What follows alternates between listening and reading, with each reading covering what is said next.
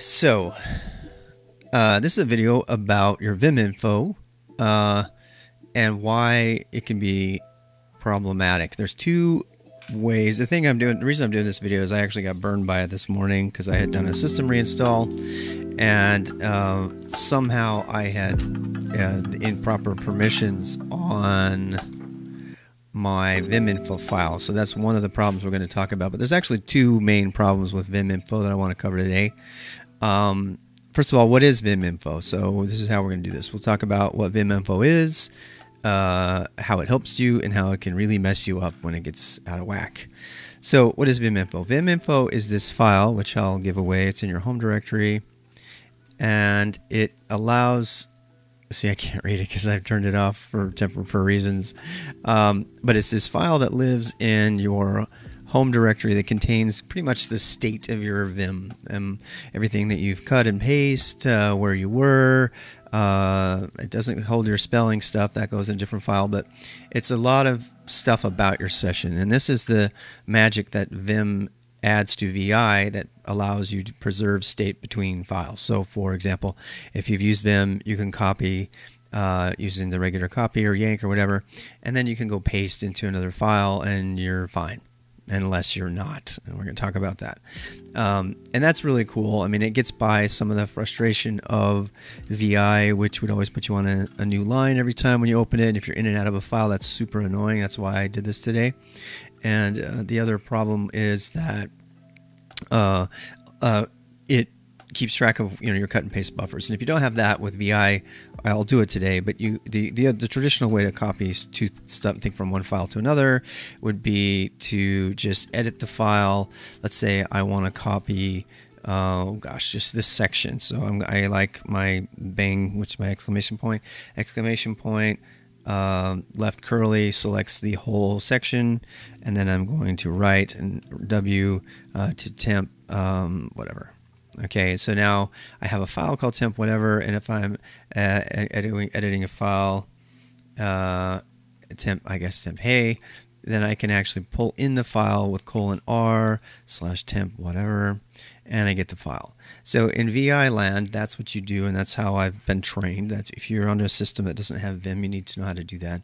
Most have Vim these days, but even if they only have VI, that's how that's the best way to, to transfer data between uh, two two files. Uh, there is no Vim info. There's no sense of state or cut and paste between um, two sessions. So that's how you do that, and that's always what you can fall back on.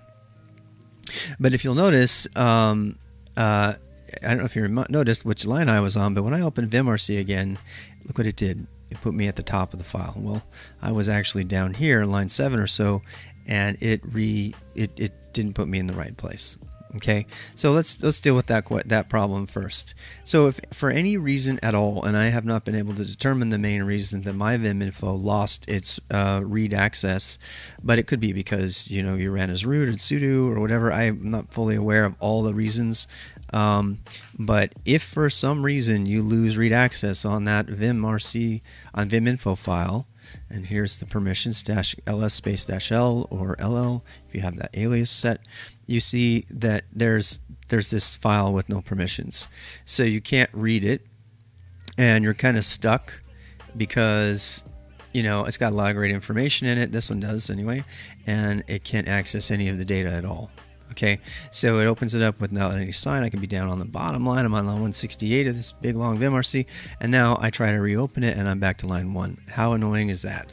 Well, you know, that's the life most VI people have learned to live with, but it's still annoying. Uh, and VimInfo gets around that, but the way to fix that uh, is if I all I have to do is give it read and write permissions. Well, let's let's do one at a time because it's possible. I don't know how, but you might lose write permissions. But in that case, you actually get a big wonderful error. Uh, so we're going to schmod it. We're going to add uh, readability to the file. So schmod plus r tilde slash dot vim info and then we'll check our permissions again with uh, ls space dash l and we see, oops, I added R to everything. I probably don't want that. So let's um, go ahead and remove. I'm not gonna. I refuse to use Octal. I like Octal, but I just don't want to use it here. So let's change that to be um, plus, let's just for the user, plus R. And I guess we'll have a video on permission some other day. But um, then if you look at this, you see there's R. Okay, well, what does that do? So let's let's go back and you, it's funny because I'm going to edit this file that I've been editing before, and you'll notice it's going to think I was on a line different than I was. I was on the end of the line, but now when I edit the file, it puts me on line 32, which was uh, oh, but I tried to save it. Did you see that error? Let's do that again. So if I try to save it, oh hey, you can't write your file, right? Okay, so um, it can't write the file. So that's actually good. Let's go see why it thinks I'm on line 32. So we're going to go to Vim Info and look in here, and it's lots of good stuff in here. All the read write registries, everything. Um, the version, let's see. There, I think it's the one that oh, that's your search string history. Okay. Hmm, I don't know where the line return is, but it doesn't matter. This is a big old buffer. That's the vimrc, of course, which I pasted earlier. Uh, but somewhere in here is the line you were on. Uh, command line history. Let's see, where is input line history? Well, just trust me, it's in here. I don't know where. We'll find it another day. But you see, even that I can't. I can't edit the file. It doesn't save my history. So I get the warning. So the the conclusion here is you can't um, uh, see. You get you get an error if it's just write only. But let's fix that. Let's do our chmod again. Chmod uh, user plus write. Uh, and now we should be fine. And when I edit uh, vimrc like we've been doing, uh, you see that um, you know I can move around. So let's see. I'm going to go to the line, another line we're going to talk about in a second. Let's see if I can find it. Uh, Vim info. So searching for Vim info slash is how I searched. Uh, so here's the line that I have in my VimRC that we're going to talk about next. But I'm on line 29 now. When I close out uh, and I reopen, I should be on line 29. Yay! Thanks. Everything is working good. So that's that's the first really weird quirk. So if for any reason you lose your permissions or your, your line numbers keep going to the keeps jumping back to the beginning of the file, and you're like, hey, I swear to, I got this all working. Uh, it's not because it's not reading your vimrc, which is what I thought. It's because your vim info is can't be read, and so you need to go back and check on that. Um, all right. Second thing. Uh, so as you've seen, we've been cutting and pasting. Uh, I'll do it again. So we're going to take that, that line that we did, we cut and paste, and I'm going to do the same thing. Bang, left curly, that selects. I just use bang for everything. There's clearly lots and lots of other ways to do this, but I, I use the magic wands, which I'll have a video on all the time. And uh, I just take get rid of the magic wand in this case and write uh, the section to um, uh, another, let's say, oh, file exists. Okay, I get that too. I probably should put a no clobber. So W exclamation point, since I must have used that file already, temp another, and there it goes ahead and makes it another file. All right. So, but the thing of it is, is I didn't even really need to do that, right? So I can actually just yank it. I can yank the thing Y uh, left or was that right curly, and that says it linked it yanked 13 lines down here you see this 13 lines got yanked so that's about 13 lines like here all right so now what? Um, let's go put them into another file. Uh, another one I bet I got. And now if I just type P, it, it knows what to do. Okay, we're going to delete this though. That, that worked properly, so no worries there. But here's where stuff gets really subtly scary and dangerous. Pay attention here. Put your ears on. Um, when you're editing the vimrc, so this file has 168 lines. Um, if I am going to copy and paste the whole file, which is not uncommon. Obviously, you should just cop copy the the just the file, just do CP or something.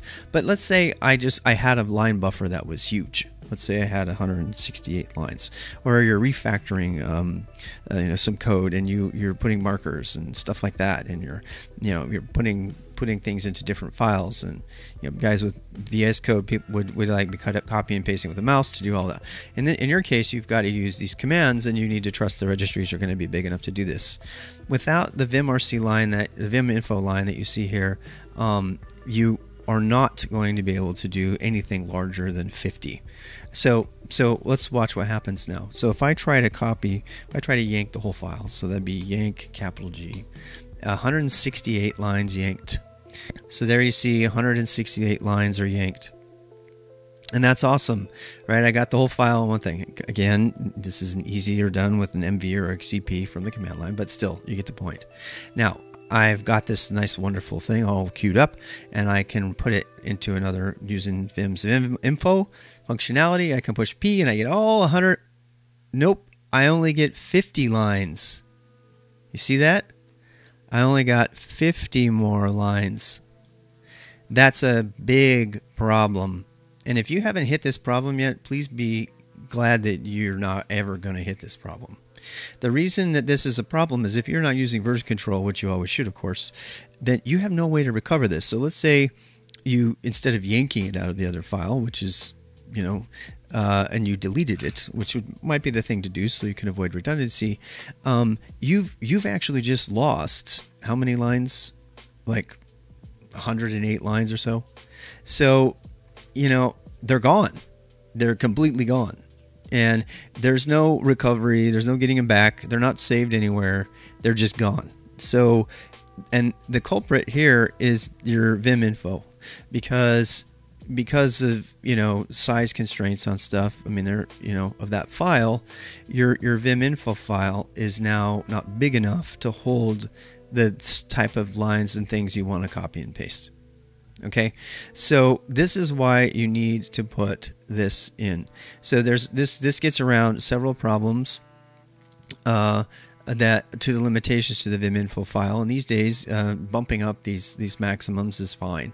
So the first one is you need to add. Uh, and I don't, I don't understand why the syntax is this way. It just is. Um, but you need to add more registers. So if you do use a lot of registers, uh, markers and stuff, you might want to bump that number up, and that's a good number. Um, and uh, you uh, this this makes it so I have a maximum of a thousand lines. Now I know that I should never be cutting and pasting more than a thousand lines right? If I'm doing that, I'm truncating a file, I'm copying the file and deleting everything off the end of it. I'm doing something else like that. So a thousand should be plenty. 50, however, is not big enough for most people. It's definitely not for the stuff I do. So, and the size of the file. So the size is unrelated to how many lines. It's it's how big the file can be, or, you know, or your um, the registries or the things that you're copying. So you, once you add this, now uh, it's not registered, so I have to reopen VI. And now I can go up here and do the same thing again. I'm going to yank the whole file all the way to the end, 168 lines yanked. Let's now edit our another two. Whoops, let's delete this first. Uh, to do it again then. So go back up in here, yank to a whole file, and go back into another two, P for paste. And I have all 168 lines because I'm all happy now because I bumped up the size of my Vim info file. All right, so uh, three things we did. What is Vim info? Uh, how can you uh, get around a problem with it not remembering where you are? If that's a thing, check your permissions. And how to bump up the sizes of the of everything in Vim info so that you don't end up losing code because the default is 50 lines and you probably are going to do more than that. So hopefully this video has been helpful. If it has, uh, like and subscribe, join me on the stream. And um, I'm going to start making them more frequently as soon as they hit me. Uh, it, there will be no particular order, but I promise to link them together in some order on an outline in a blog post at some point. All right. Thank you.